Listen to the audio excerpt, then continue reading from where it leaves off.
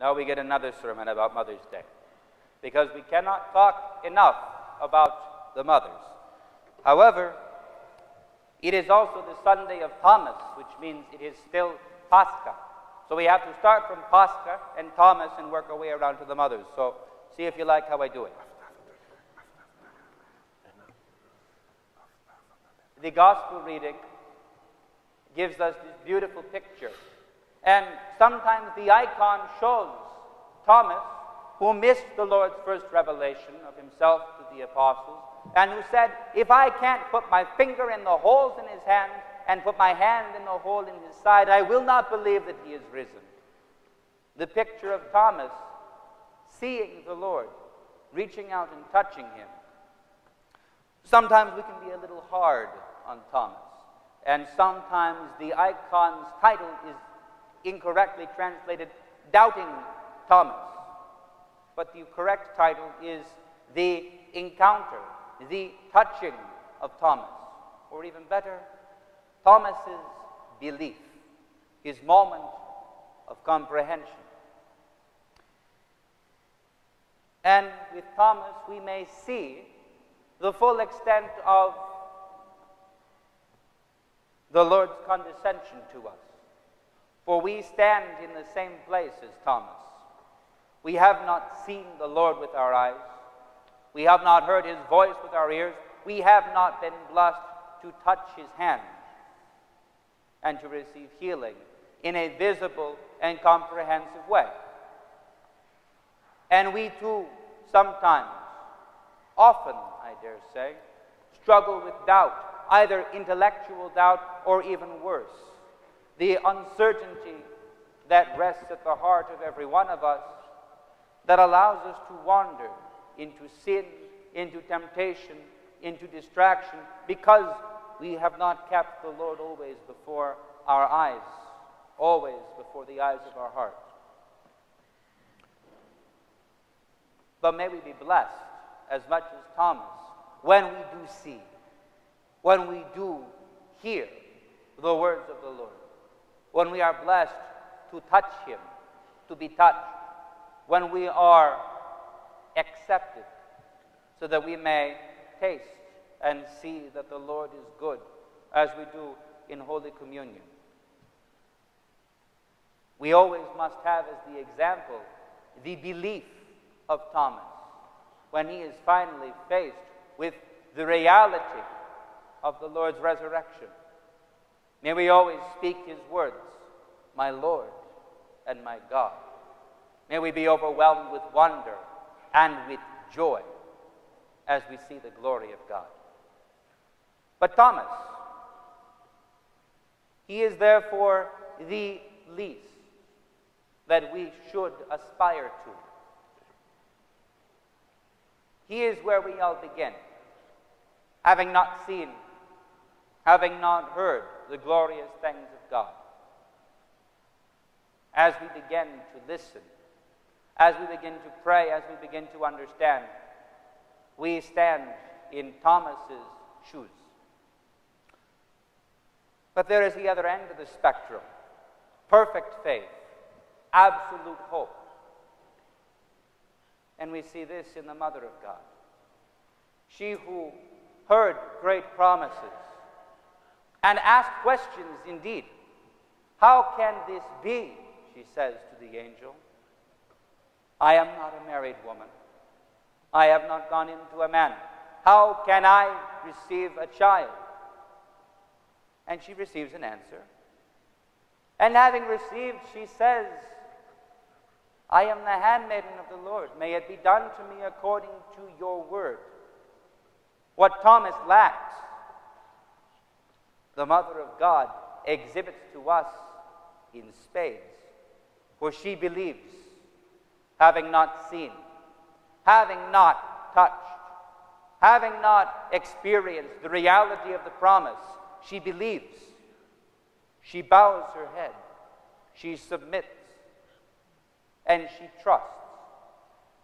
And through all the long days of the pregnancy, those days of shame, as everyone looked at her and assumed what had happened,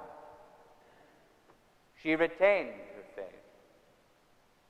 And in all the long years after the Lord's birth, when strange things would happen, when her son abandoned the family for three days and went into the church and was having arguments with the teachers,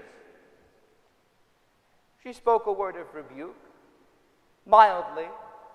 How could you do this to us? But when she was then rebuked in return by her son, again, she took these things. She held them in her heart. She considered them. She weighed them. She prayed over them.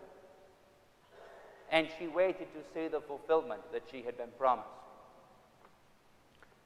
And when the Lord was suspended on the cross, and the prophecy of Anna in the temple on the 40th day was fulfilled, that her heart too was pierced with agony and grief.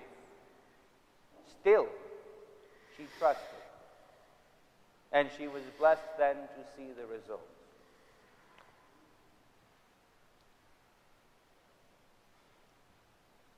Now, I had not comprehended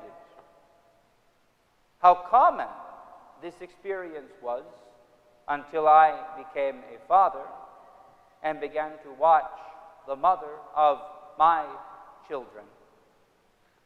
Struggle too with doubt and uncertainty, knowing the grave responsibility of raising good and faithful and pious children,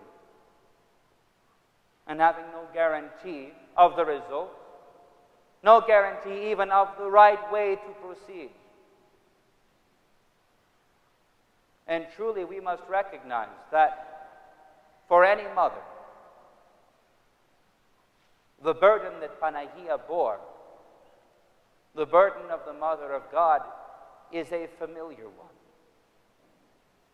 Every mother knows the uncertainty and the fear and the doubt.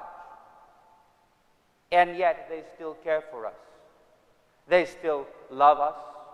They still pour themselves out for us.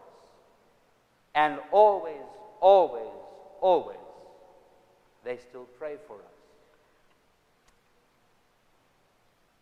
Looking to God and placing in His hands the results of the work of child raising. And therefore, for us today, as we stand in Thomas's shoes, looking to the face of the Lord, doubting because we have not seen, we have not touched, we have not heard.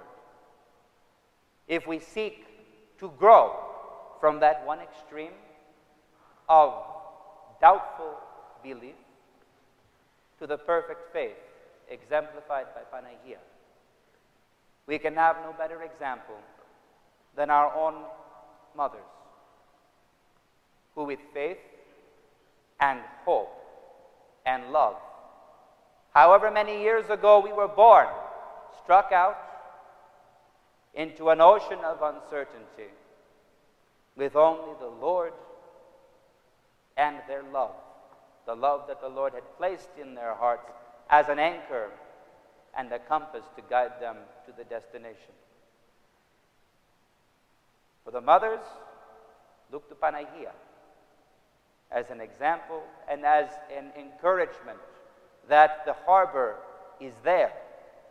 It is safe and secure, and your work is blessed.